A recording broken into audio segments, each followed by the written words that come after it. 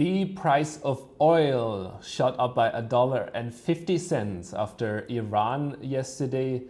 Um, at least that was what the media was reporting, said that they would join the negotiation table at the end of September in Algiers. The uh, oil conference there was supposed to be a meeting point, at least that what was uh, uh, Saudi Arabia was saying there is supposed to be a meeting point to form a global alliance to cap the production of oil. Markets are really focused on this.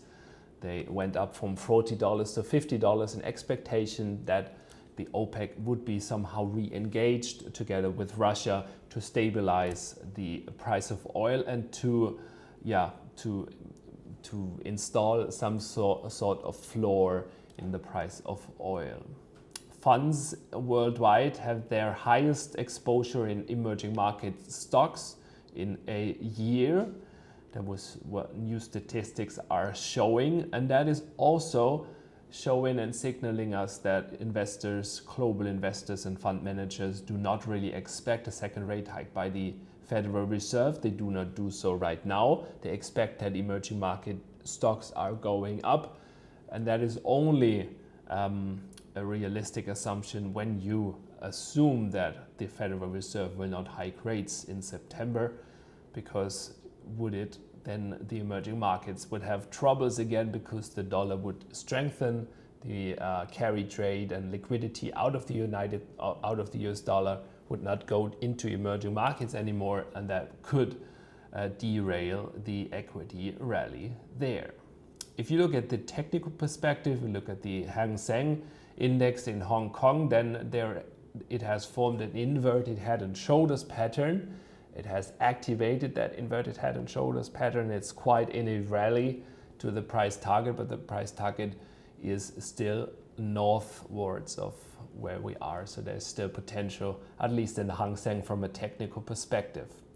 So when it comes to the speech of Janet Yellen on Friday, no one really expects that she will say anything about uh, canceling the hopes the markets have when it comes to uh, the, the liquidity and uh, loose monetary policy. She might say, okay, if the uh, data like GDP data, which is coming out on Friday, which will be the first, um, the first statistics about the running third quarter, if the third quarter would be good and if economic data will be good, it might be a might be um, uh, appropriate to hike rates in December or in the coming month or the second half. She will do something, give hints to that the rate hike is still on, that it's still live. Uh, markets will continue to um, go from Fed speech to Fed speech to really try to close in on uh, the um, on the uh, actual date where there will be a second rate hike. The equity markets, if you look at the DAX, there was this small flash crash on Monday,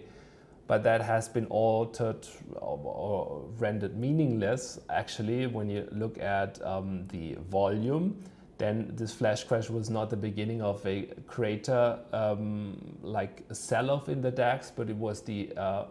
end, at least uh, when you look at it from a technical perspective, it might have been the end because um, if you look at the candlesticks from Friday, Monday, and yesterday, they form a so-called morning star, which is a trend reversal pattern from technical analysis. It might be that there is um, a bottom in the star uh, in the in the DAX because of that morning star. So that is something that you should actually uh, continue to watch is there now a reversal in stocks and will there be a rally after the Yellen speech? That's a big question that we have. We have um, the UK GDP data also coming out and on Friday the US GDP data and on Friday evening there will be Janet Yellen speaking so there's a lot of signals coming to the market which could provide another spike in volatility coming towards us.